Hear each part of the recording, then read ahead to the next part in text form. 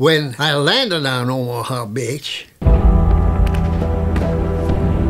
that time I was having uh, two MG 42 machine guns sh- shooting at me from opposite sides. It, it was just like the soul of that soldier was telling me, get up and get going right now.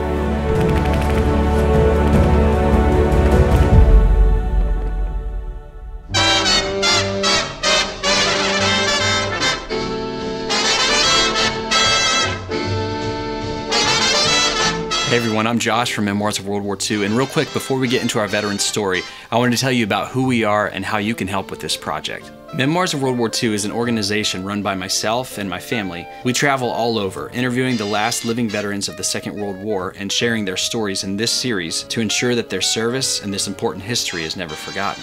We are funded by donations from people like you, both through Patreon, where you can choose what dollar amount you'd like to give, and through our website.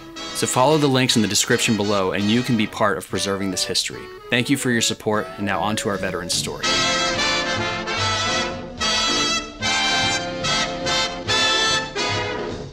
Having stayed clear of the conflict raging across much of the world, the people of the United States realized neutrality may no longer be feasible and began joining the armed forces in droves. For Jake Larson of Hope, Minnesota, the best way he knew to contribute was by joining the National Guard.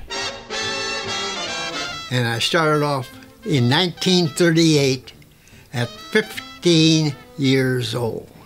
I was working my way through high school, working for my room and board. You don't have a penny of your own. Every three months, I got a check for $12. One of the first things I did was go down to Johnson Photo Studio and buy a 35 millimeter Argus C2 camera. Took, took me two years to pay that thing off. You, you, you see that picture out there with me sitting in a Jeep? Major Ridgway took that picture of me. Man, I, I developed that. My golly, that's a good picture. Uh, it's the only Jeep I sat in in the service. We were put into federal service February 10th, 1941, before Pearl Harbor. We interrupt this program to bring you a special news bulletin. The Japanese have attacked Pearl Harbor, Hawaii by air, President Roosevelt has just announced. The attack on Pearl Harbor sparked a wave of outrage amongst many citizens in the United States. With the country now at war, National Guard and regular Army units were thrust into the international crisis, defending both the Pacific and European fronts.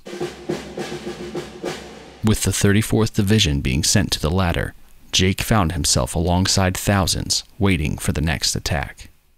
So we landed in Glasgow and took small ships back to North Ireland. I got transferred into G3 of 5th Corps. That means it's like heaven and hell compared. Infantry. You're, you're dog soldiers. You, you, have no future.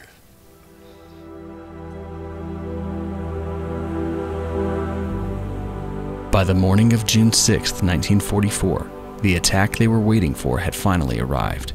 But Jake had no way of knowing the incredible historical significance this invasion of France would carry, nor the horrors that waited on the beach. G3 of 5th Corps was in charge of Omaha Beach.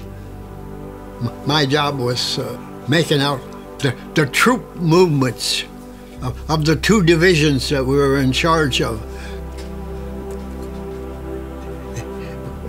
It, it, it's, it, it's hard to, to, to relate this story, but uh, when I landed on Omaha Beach, they let us off too early in the water, and we had water up to our chins. And we were supposed to be water up to our up to the waist. Walking in the shore, I was the last one in line. the Germans had landing stuff mined underneath with about a million mines. And here we are being shot at. Unbe- unbelievable. B- big. The, the biggest guns in the world shooting over us and back and forth. And I was more worried about stepping on a mine than I was the overhead firing. But we finally got in over the over the water where I could lay down, and I lay, laid down. And there was a kind of a burl there. At that time, I was having uh, two MG-42 machine guns sh- shooting at me from opposite sides, coming down and shooting right in front of that sandstone. That, that little piece of sandstone saved my life.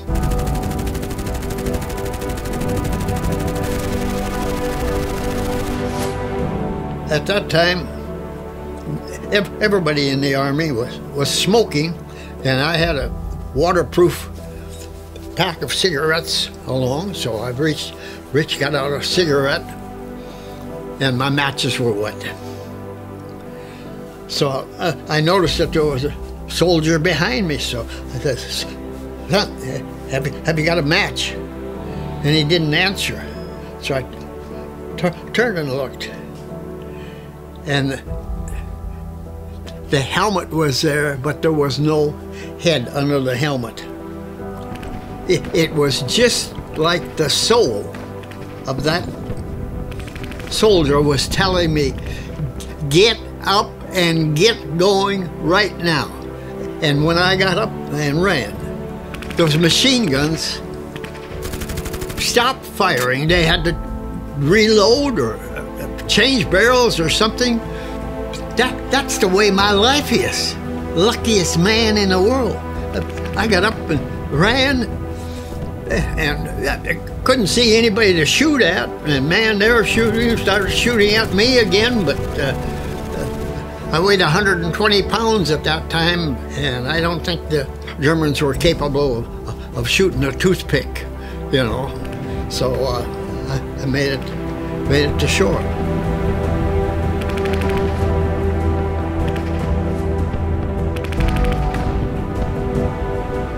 The invasion of Normandy was a hard fought victory, opening the road to Nazi Germany.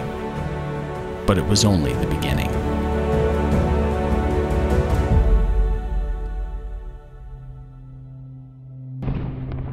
Jake remained with the G3 military staff battling through St. Lo by night and sleeping during the day. With Hitler's forces on the run into eastern France, the Germans had one last chance to shift the tide of the war. From there, we went to Belgium then. December 15th, the night of the 15th.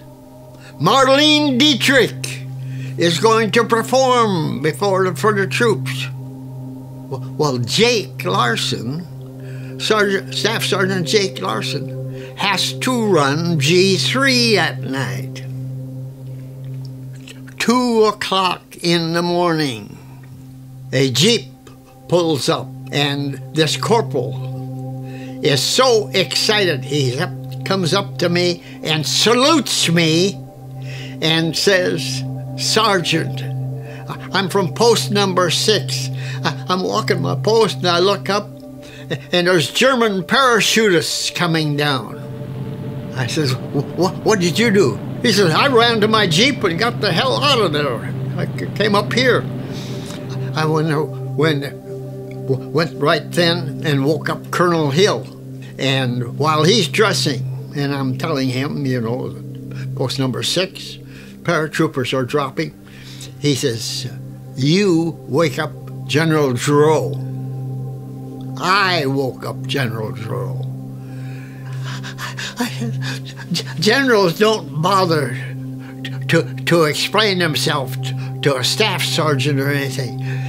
I, I remember him saying, Thank you, Sergeant. That was his exact words. Well, they alerted 1st Army, they alerted the two divisions under us on the line, and we saved a lot of lives.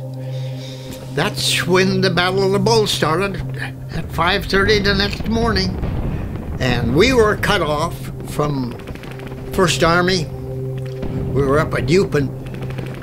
That's when the, the massacre down there. The Germans had captured a or hundred. I, it was debatable at that time. When the German tanks were going by, these, these soldiers standing in a ditch with their hands up. They open up with their machine guns on the tanks.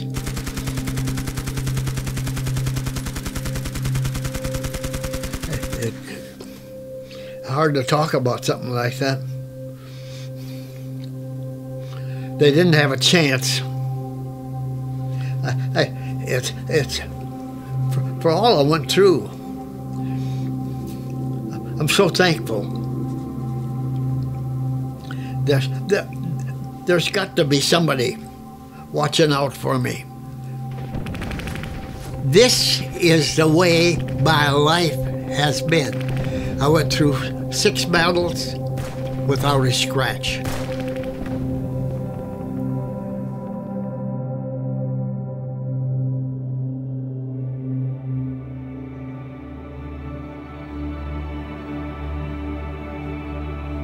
After the fighting in Europe came to a close, Jake received a 45 day furlough and was back home in the United States when the Second World War finally ended on September 2, 1945. Though nearly 80 years have passed since the war's end, and Jake has become something of a cultural icon in the world of social media, he has never forgotten those who fought beside him and how fortunate he is to be alive.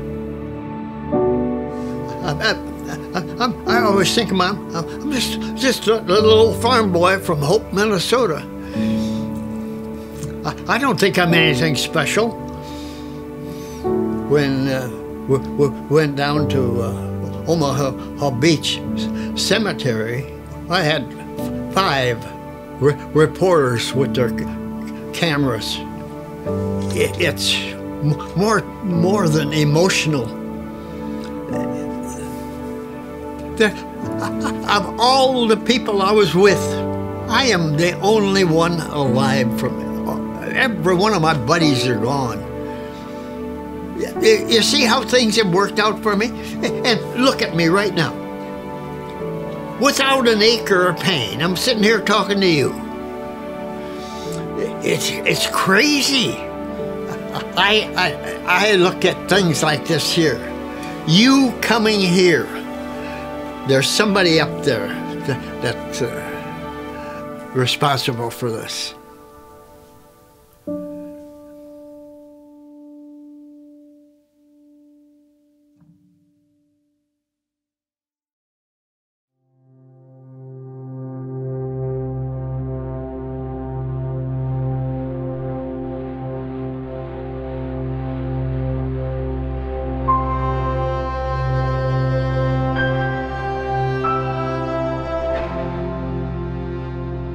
Everyone. I'm Josh from Memoirs of World War II, and I just want to say thank you for watching this episode. Our goal is to capture as many World War II veteran stories as we can from all over the world, but we can't do it alone. If you'd like to help us in this mission, consider supporting us through Patreon and check out our website, memoirsofworldwar2.com, for more information. If you haven't already, be sure to subscribe to our channel and click the notification bell so you don't miss a single episode.